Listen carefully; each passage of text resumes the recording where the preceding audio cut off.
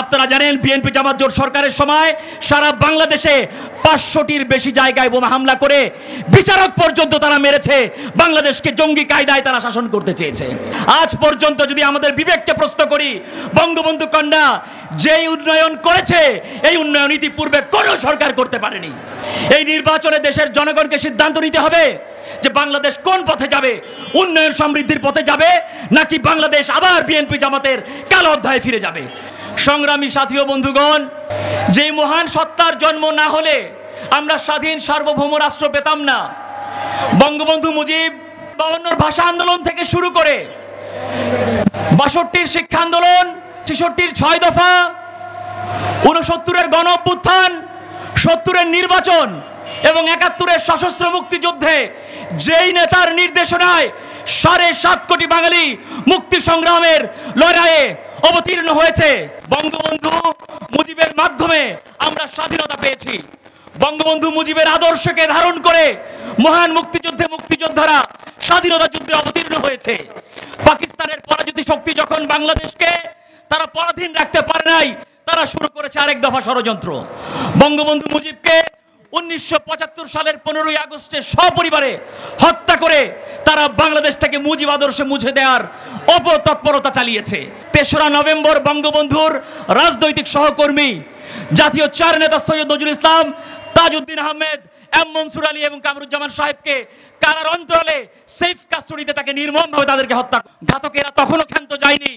বঙ্গবন্ধুর হত্যার বিচার যাতে বাংলার মাটিতে অনুষ্ঠিত হতে না পারে, বাঙালি জাতির ললাটে কালিমা লেপন করে একুশ বছর পর্যন্ত বাংলাদেশে বঙ্গবন্ধুর হত্যার বিচার করতে দেয় নাই।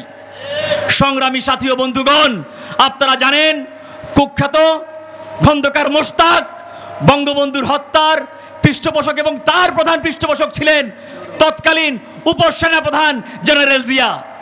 যখন খন্দকার মোস্তাক ইন্ডেমনিটি অর্ডিন্যান্স বা দায় মুক্তি অধ্যাদেশ জারি করলেন। এই দায় মুক্তি অধ্যাদেশকে বাংলাদেশের আইনে রূপান্তরিত উনিশশো উনআশি সালে এই খুনি জিয়াউর রহমান করেছেন। বাংলাদেশের সংবিধানকে ক্ষত বিক্ষত করে বাংলাদেশের সংবিধানের মূলনীতি পরিবর্তন করেছে। শুধু তাই নয় বঙ্গবন্ধুর হত্যাকারীদেরকে পৃষ্ঠপোষকতা করে নিরাপত্তা দিয়ে সারা বিশ্বের বিভিন্ন জায়গায় বাংলাদেশের রাষ্ট্রদূত হিসেবে তাদেরকে নির্বাচিত করে তাদেরকে পুনর্বাসন করেছে। সংগ্রামী সাথী ও বন্ধুগণ, বাংলাদেশের ইতিহাসে খুন, অপরাধের অপসংস্কৃতি সৃষ্টি করেছিলেন এই জেনারেল জিয়ার শাসনামল থেকে।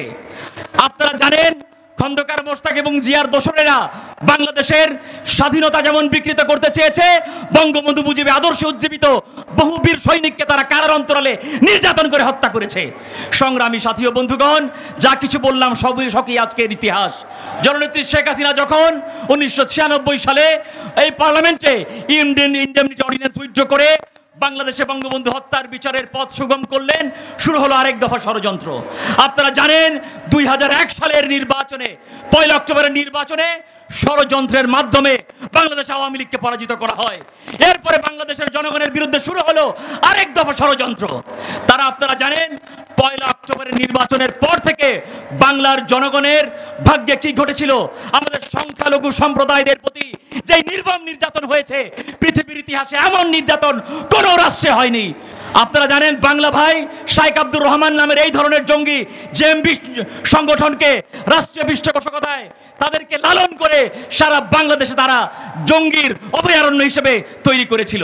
আপনারা জানেন বিএনপি জামাত জোট সরকারের সময় সারা বাংলাদেশে পাঁচশোটির বেশি জায়গায় বোমা হামলা করে বিচারক পর্যন্ত তারা মেরেছে। বাংলাদেশকে জঙ্গি কায়দায় তারা শাসন করতে চেয়েছে। সংগ্রামী সাথী ও বন্ধুগণ বাংলাদেশের জনগণ শান্তিপ্রিয়, তাই তারা শান্তির পক্ষে দুই হাজার আট সালের উনত্রিশে ডিসেম্বরের নির্বাচনে বঙ্গবন্ধু কন্যা দেশরত্ন জননেত্রী শেখ হাসিনাকে তারা নির্বাচিত করে বাংলাদেশের শাসন ভারে আসীন করেছেন। বাংলাদেশের শাসন ভারে দেশরত্ন জননেত্রী শেখ হাসিনা আসার পরে দেশ ও জনগণের ভাগ্য উন্নয়নে কাজ করেছে। আজ পর্যন্ত যদি আমাদের বিবেককে প্রশ্ন করি, বঙ্গবন্ধু কন্যা যেই উন্নয়ন করেছে, এই উন্নয়ন ইতিপূর্বে কোনো সরকার করতে পারেনি। আমাদের আবেগের জায়গা। আমাদের শেষ আশ্রয়স্থল দেশরত্ন জননেত্রী শেখ হাসিনার। শেখ হাসিনার জন্য আমরা ঐক্যবদ্ধ হয়ে আগামী যে আমাদের দ্বাদশ জাতীয় সংসদ নির্বাচন আসছে, এই নির্বাচন বাংলাদেশের ভবিষ্যতের জন্য অত্যন্ত জরুরি, অত্যন্ত গুরুত্বপূর্ণ একটি নির্বাচন। এই নির্বাচনে দেশের জনগণকে সিদ্ধান্ত নিতে হবে যে বাংলাদেশ কোন পথে যাবে, উন্নয়ন সমৃদ্ধির পথে যাবে, নাকি বাংলাদেশ আবার বিএনপি জামাতের কালো অধ্যায়ে ফিরে যাবে। সংগ্রামী সাথী ও বন্ধুগণ, আমাদের দেশের জনগণ শান্তিপ্রিয় দেশের জনগণ ইতিমধ্যে প্রমাণ করেছে যে তারা দেশরত্ন জননেত্রী শেখ হাসিনার সাথে আছে। আগামী নির্বাচনে আমরা রাজপথে থেকে ইনশাল্লাহ ভোট এবং ব্যালটের মাধ্যমে আমরা প্রমাণ করে দিব। আগামী দিনে আমাদের জাতীয় সংসদ নির্বাচনে বঙ্গবন্ধু কন্যা দেশরত্ন জননেত্রী শেখ হাসিনাকে পঞ্চমবারের মতো দেশের প্রধানমন্ত্রী করে করব এই প্রত্যয় ব্যক্ত করে আমার সংক্ষিপ্ত বক্তব্য আমি এখানে শেষ করছি। ওয়াখিরুদ্দাওয়ানা আনিল হামদুলিল্লাহ রব্বিল আলামিন। জয় বাংলা! জয় বঙ্গবন্ধু!